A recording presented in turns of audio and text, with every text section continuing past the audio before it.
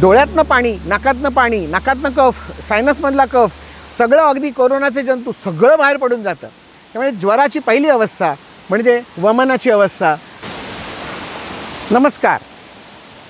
पंचकर्मामध्ये वमन नावाचा एक प्रकार असतो ज्याला उलटीचं औषध देणं असं म्हणतात. साधारणपणे कफाचे आजार ज्यांना होतात म्हणजे लहान मुलं सगळी ज्यांना वारंवार टॉन्सिल सुजणं ज्यांना वारंवार कानाचे दडे बसणं कानातनं पाणी येणं डोळ्यांच्या समस्या केसांच्या समस्या थायरॉईडची समस्या स्पॉन्डिलायटिसची समस्या किंवा छाती सतत भरत राहणं श्वास घ्यायला त्रास होणं आवाज येणं छातीतनं गुरगुर गुरगुर असा या पद्धतीत कफाचे आजार जे असतात किंवा पोटाच्या संबंधात जे आजार असतात म्हणजे भूक न लागणं अजीर्ण पोट डब्बं होणं इथे वरच्या बाजूला दुखणं किंवा छातीत मधल्या भागामध्ये जळजळल्यासारखं वाटणं ही सगळी लक्षणं पित्ताशी संबंधित असतात. तर या कफपित्ताच्या संमिश्र लक्षणांसाठी वमन हे अतिशय चांगलं काम करतं. उलटीचं औषध घ्यायचं. साधी सोपी नैसर्गिक प्रक्रिया आहे. जेव्हा एखादं कुत्रा किंवा मांजर त्यांच्या पोटात दुखत असतं तेव्हा ती बाहेर जातात आणि हे इथे असं जे गवत दिसतं हे गवत असं खातात दुर्वा खातात आणि ते त्यांच्या पोटात गेलं की त्यांना ते बाहेर काढून टाकावं असं वाटतं. निसर्ग त्यांना प्रेरणा देतो आणि त्यांच्याकडनं उलटी करवून घेतो. या अशा प्राण्यांकडनंच आमच्या ऋषीमुनींनी कदाचित ही एक पद्धत शोधून काढली असेल की या पद्धतीने शरीरातील दोष बाहेर काढून टाकता येतात.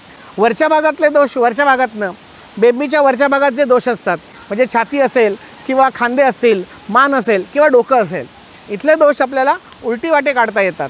याला म्हणतात वमन. कोणतंही कर्म करण्यापूर्वी पूर्वकर्म प्रधानकर्म पश्चातकर्म अशी तीन कर्म करावी लागतात. हे ऑपरेशन आहे सांभाळून करावं लागतं. आणि म्हणून ज्याला ते करू नये या कोणाला करू नये याचे सुद्धा नियम दिलेले आहेत. कोणी करावं याचे पण नियम दिलेले आहेत.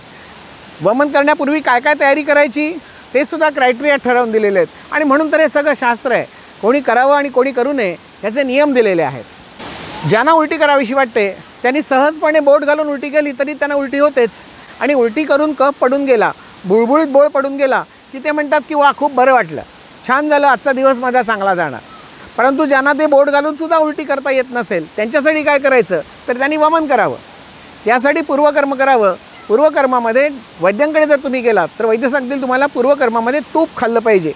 तूप तेल आणि वसामज्जा चार स्नेह सांगितलेले जो काही कफ आतमध्ये चिकटलेला आहे ज्याला आम्ही आम म्हणतो विकृत कफ आहे हा जो चिकटलेला कफ आहे हा जर आपल्याला बाहेर काढायचा असेल तर तो सोडवावा लागेल. जसं एखाद्या दगडाला शेवाळ घट्ट चिकटलेलं असतं आणि ते सोडवण्यासाठी आपल्याला जास्ती प्रयत्न करावे लागतात. नाहीतर ते बुळबुळीत होतं आणि वर्ण सरळ घसरायला होतं. आणि म्हणून हे जे शेवाळ आहे आतल्या बाजूला आलेलं हे काढून टाकण्यासाठी त्याला तेलात ते भांडं बुडवून ठेवायचं. साबुदाण्याची खीर कशी आतल्या बाजूला चिकटली तर ते सगळं चिकटून राहतं आणि ते निघत नाही. एक दोन दिवस ते पाण्यात ठेवलं पातेलं की हे सगळं आपोआप सैल होऊन बाहेर पडून निघून जायला मदत होत असते. असंच हे जे आमाशय आहे पोट आहे ह्या पोटाला आतल्या बाजून तेल आणि तूप एवढं माखावून ठेवायचं की त्याच्यात जो चिकटलेला कफ असतो हा सहजपणे सुटतो आणि तो बाहेर काढायला मदत होते. याला म्हणतात पूर्वकर्म. आपल्या प्रकृतीनुसार आपल्या रोगानुसार हे तूप कोणतं वापरायचं? साधं तूप की औषधांनी सिद्ध केलेलं हे वैद्य ठरवतील. तसं तसं ते खात जायचं. खाल्लं की तुम्हाला त्याचे लक्षणं शरीरावर दिसतात. लक्षणं दिसायला सुरुवात झाली ज्याला आम्ही उत्कलेश असं म्हणतो. आणि मग तुम्हाला एक औषध देत दिलं जातं. ज्याने उलटी होते. उलटी करून झाली की पोट सगळं हलकं होऊन जातं. आणि डोळ्यातनं पाणी नाकातनं पाणी नाकातनं कफ सायनसमधला कफ सगळं अगदी कोरोनाचे जंतू सगळं बाहेर पडून जातं. त्यामुळे ज्वराची पहिली अवस्था म्हणजे वमनाची अवस्था. सगळ्यात पहिल्यांदा वमन करून टाका. मग लंघनम करूयात. मग ज्वरामध्ये तू पाचनम ज्वरांते भेषजम दद्यात ही तापाची प्रोसिजर सांगितलेली आहे. त्यामुळे सगळ्यात पहिलं कर्म उलटी करून टाका. ताप आल्यानंतर घाबरू नका. उलटी केलात तर ताप लगेच कमी होतो. मग डोक्याला ताप होत नाही. आणि मग पुढच्या सगळ्या प्रोसिजर्स थांबतात. एक उलटी केली तर पुढच्या सगळ्या प्रोसिजर जर थांबत असतील तर वमन करून घ्यायला काहीच हरकत नाही आहे कुठच्याही तापासाठी नवज्वरे वमनम. धन्यवाद.